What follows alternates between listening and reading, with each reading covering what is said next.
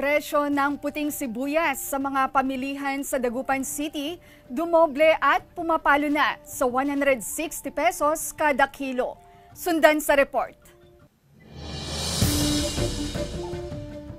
Noong nakaraang linggo lang, nasa 80 pesos ang kada kilo ng puting sibuyas sa Malimgas Public Market sa Dagupan City. Pero ngayong araw, pumalo na sa 160 pesos ang kada kilo. Mas mataas ng presyo ng puting sibuyas sa pulang sibuyas na nasa 120 pesos kada kilo. Ayon sa mga tindera, kukonti ang suple ngayon ng puting sibuyas. Silang nagtataas sa ordanita.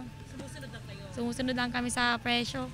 Kung tinaas nila, itataas din namin. Kung mababa nila, ibababa din namin. Dahil sa muling pagtaas ng presyo ng puting sibuyas, ang ilang mamimili, tingi-tingin na lang kung bumili. Masakit sa bulsa po. Kaya nga kawawa nga kaming mahirap buhay, ma'am. Eh. Paliwanag ng Office of the Provincial Agriculturist, sadyang mataas ang presyo ngayon ng puting sibuyas dahil halos paubos na ang mga unang naaning puting sibuyas. Pero sa mga susunod na linggo hanggang Mayo, asahan ng muling pagbaba sa presyo ng puting sibuyas kasabay ng pag-ani ng mga onion grower. law of supply and demand. Pero may option naman na tayo ngayon. Meron tayong yung red onion.